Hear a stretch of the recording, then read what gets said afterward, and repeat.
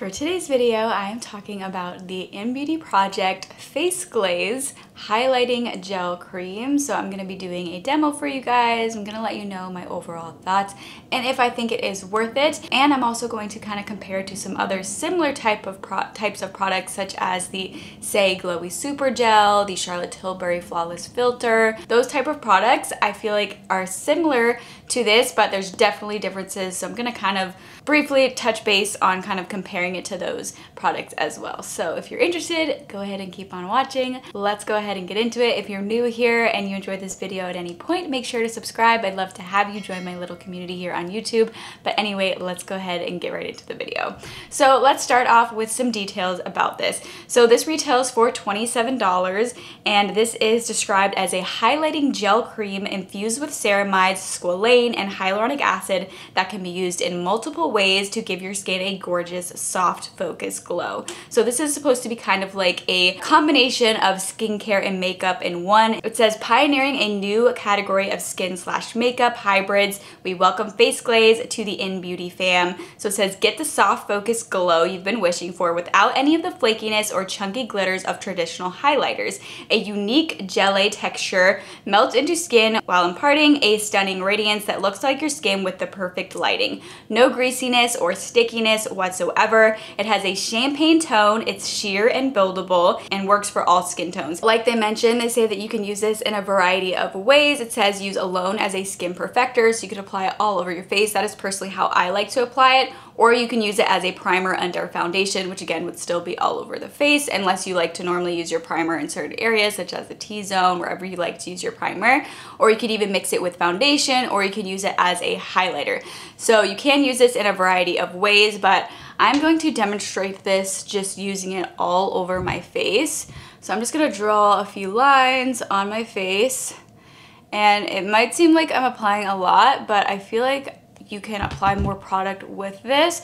So it feels kind of like a lightweight moisturizer. And if I'm comparing it to like the Saie Glowy Super Gel, this one is not gonna be nearly as dewy as that product. That one is definitely a lot more moisturizing than this. This kind of settles into more of a natural finish, I would say.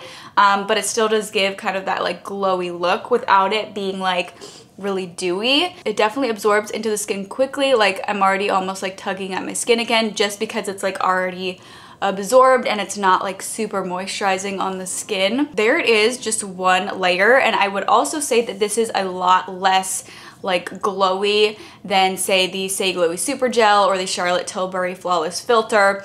Also, when comparing those, the Flawless Filter does give a little bit of like a tint to the skin. The Saie Glowy Super Gel doesn't. It's only like a luminosity. This one also does not give any type of tint to the skin. Like it's not going to give any coverage. It's just giving a little bit of a glow. And I find that the glow that this gives is a lot more subtle than those other glowy base products. But I want to apply one more layer just to kind of show that you can kind of build up the glow a little bit if you want to but it's just really, really pretty. I do like it. I love glowy base products like this. I kind of wish it was a little bit more moisturizing. However, if you are somebody with like oily skin and you want something that's not gonna be like super dewy on your skin, then I definitely think that you would like this because this really does not feel really dewy on your skin at all. It definitely sinks in quickly and just your skin just really absorbs it quickly. So I'd say this would be good for anybody who just kind of wants something that's gonna give kind of just a natural finish because it does definitely kind of settle in. I also don't think it's really sticky. So this is what it looks like. I think it does look really, really pretty. A very nice subtle glow. This is a type of product that I feel like I could just wear this completely on its own and it's not gonna look like overly glowy. Like I have like a boom kind of crazy glowy product on my face. I feel like it just gives my skin a really nice, subtle, natural, healthy glow without it looking over highlightery. Now, they say that you can use this as a highlighter. However, I don't know if this would do a whole lot as a highlighter. I mean, it could a little bit, but it would definitely be very subtle if you did use it as a highlighter. I'm gonna use a little bit and just kind of apply it to the tops of my cheekbones to show how you can use it as a highlighter. It's just gonna be very subtle, still very pretty, but you can kind of build it up on certain areas if you do want to try to use it kind of like a highlighter kind of get a little bit of glow in those certain areas but it's still going to be pretty subtle but it looks really pretty. This definitely is giving like no makeup makeup. If you just want to have a little bit of something going on without looking like you applied makeup because this is very, very subtle but does look really, really gorgeous. And you can definitely see where I've kind of like built up the product a little bit. Definitely has a little bit more of a glow and luminosity there.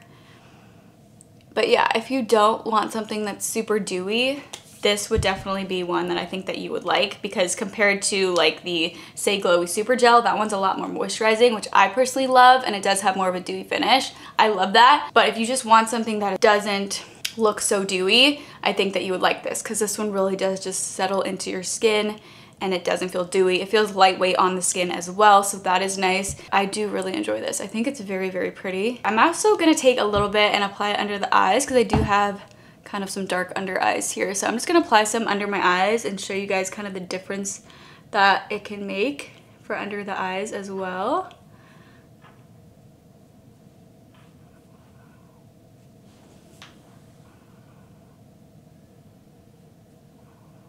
Obviously it's not gonna like totally get rid of darkness, but it just brightens the under eyes a little bit. So there's without and there's with it. So hopefully you guys can see a little bit of difference. Obviously it doesn't do like a crazy lot of a difference, but it's gonna, you know, kind of brighten that under eye area a little bit. But again, you know, this is not giving any coverage. I like this. I think it is very, very pretty. This is definitely a product that I have been continuing to use. Also, I did purchase this myself. I purchased it a few months ago and I have been enjoying it. I do want to try some more products from Innbeauty Project. So if you've tried any of their other products and you like them, let me know. I'd love to know what they are. I'd love to know which products from this brand I should check out next and try out next. So let me know in the comments and if there's anything from Innbeauty Project that you want me to review, let me know in the comments. But overall, I do like this and I think that this is a great option for anybody who wants a glowy based product that isn't super dewy and also is more kind of on the subtle side. However, you can build it up if you want to. If you are interested in checking this out, I will have it listed and linked in the description box below. No pressure to use my link at all, but if you do, it does help to support my channel. So thank you so much if you are planning on purchasing this anyway and you use my link. It means so much to me and it really helps me out to be able to continue creating content here on YouTube. If you do have any questions about the face glaze, definitely let me know in the comment section below. I'd be happy to help answer any questions that you may have. But anyway, I really hope you guys enjoyed this video and found it helpful. If you did, please let me know by giving me a thumbs up. And if you'd like to see even more content from me in the future, I would absolutely love it if you would go ahead and subscribe to my channel. But thank you so much for watching and I hope to see you for my next video.